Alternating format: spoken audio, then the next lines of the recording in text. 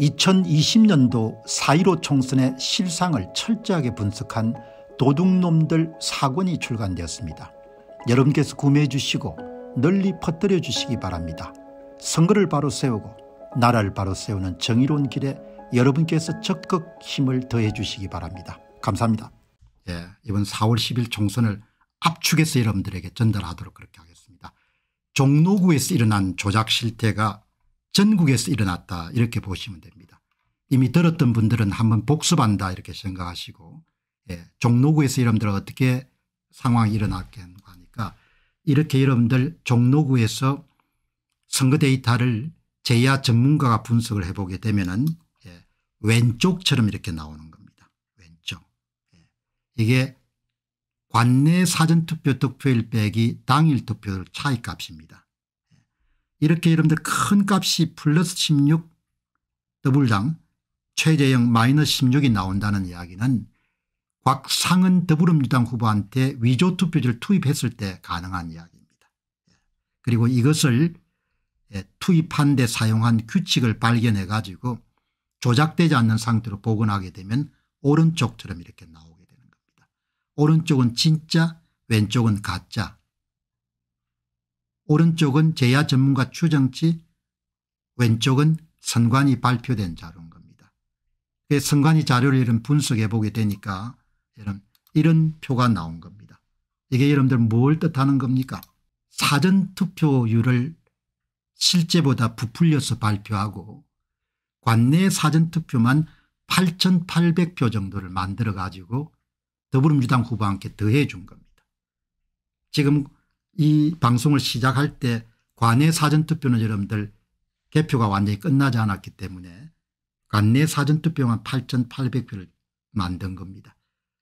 8,800표를 만들기 위해 가지고 국민들이 사전투표장에 실제로 몇 명이 왔는지를 모르게 한 다음에 발표치를 부풀린 겁니다.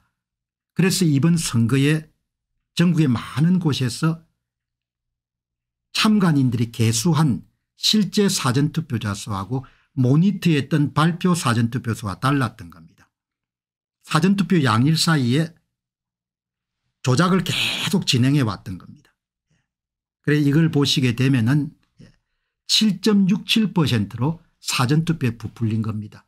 선거인수 기준으로 보게 되면 사전투표에 오신 분들은 23.13%입니다. 그런데 얼마를 부풀려서 발표했는가 하니까 30.81%라고 여러분들 관내 사전투표율을 발표한 겁니다. 관내 사전투표는 아직 나오지 않았습니다. 쉽게 이야기하게 되면 더불당 후보가 실제로 사전투표율이 44%인데 8,800표 정도를 집어넣어 가지고 58%로 만들어준 겁니다.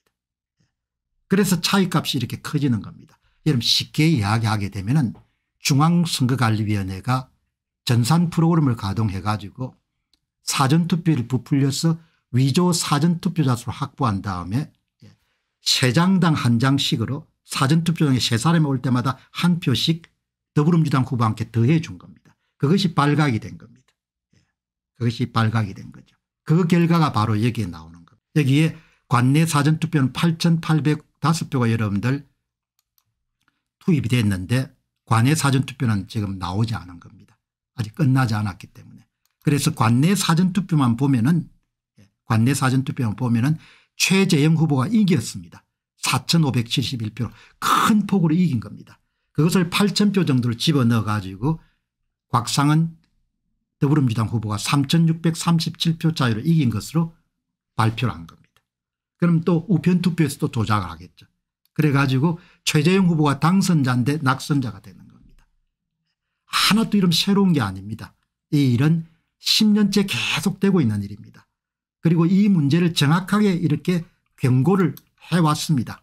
그 경고의 가장 중심에는 이렇게 이번 선거는 최소 346만 표 최대 461만 표를 투입할 것이다 이렇게 예상을 한 겁니다. 346만 표는 2020년 4.15 총선 수준으로 조작하는 것이고 그다음에 461만 표는 강서구청장 보궐선거 수준으로 두 사람이 올 때마다 가짜 투표지를 한 장씩 더불당 후보에게 더해주는 그런 식으로 실시할 것이다. 이번 선거 이름 끝나고 나 전체 다 분석해 보게 되면 346만 표에 461만 표 사이에 결정될 겁니다. 가짜 투표를 투입해 준 겁니다. 2022년도 3구 대통령 선거에 이재명 후보가 받은 가짜 투표율은 240만 표였습니다.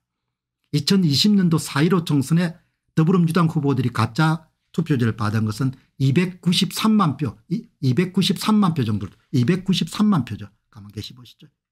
293만 표 정도를 여러분들 예상이 되는 겁니다. 예. 그 293만 표 가운데 종로구의 관내 사전투표가 여러분 투입된 것이 8,805표인 겁니다. 전체 다 조작을 한 선거입니다. 새로운 선거는 아니고 10년째 해오던 동일한 방식을 선거관리위원회가 이번에도 적용한 겁니다. 이걸 하기 위해서 마지막까지 이런 선관위가 버틴 것이 투표관리관 개인 도장을 못 찍겠다는 겁니다. 투표관리관 개인 도장을 못 찍을 찍지 않고 인쇄를 해야 제3의 장소에서 위조 투표를 만들어서 전산을 부풀리고 그다음에 4박 5일 사이 표를 쑤셔 넣을 수 있었던 겁니다. 그리고 실제 사전투표도 사람들이 몰라야 그래야 이런 발표 사전투표를 뻥튀기 할 수 있는 겁니다. 그 CCTV를 촬영하지 못하게 하고 예. 투표장에서 이런 키, 캠코더 같은 거 사용하지 못하게 하고 그렇게 여러분들 노력해 온 겁니다. 예. 여러분 오늘 방송은 여기서 이제 마무리하고 그다음에 제가 또 준비를 또 해가지고 지금 3시니까 예, 6시 다시 방송이 될지 모르겠는데 준비해가지고 속보 형식으로 다시 또 여러분들에게 말씀드리도록 하겠습니다. 자, 오늘 여러분들 늦은 시간에 참 가장 빨리 여러분들 발표를 한 겁니다. 이번에 그만큼 준비가 돼 있었기 때문에 제야 전문가가 예. 완전히 개판입니다. 나라가. 그러나 윤석열과 국힘이 덮을 겁니다. 국민이 저항하지 않으면 덮을 수밖에 없는 겁니다. 예. 자, 여러분들 오늘 이 종로구 사례 보시고 2022년 지방선거에서 일어난 일을 낱낱이 밝힌 도둑놈들 5권 2022년 지방선거 어떻게 훔쳤나가 출간되었습니다. 이미 발간된 도둑놈들 1권 선거 어떻게 훔쳤나 2권 2022년 대선 어떻게 훔쳤나 3권 2022년 대선 무슨 짓을 했나 4권 4.15 총선 어떻게 훔쳤나 이어서 다섯 번째 발간된 책입니다. 여러분께서 구매해 주시고 주변에 널리 알려주셔서 선거 공정성 회복을 위해 전국민 필독서가 될 수 있도록 힘을 대주시기 바랍니다. 감사합니다.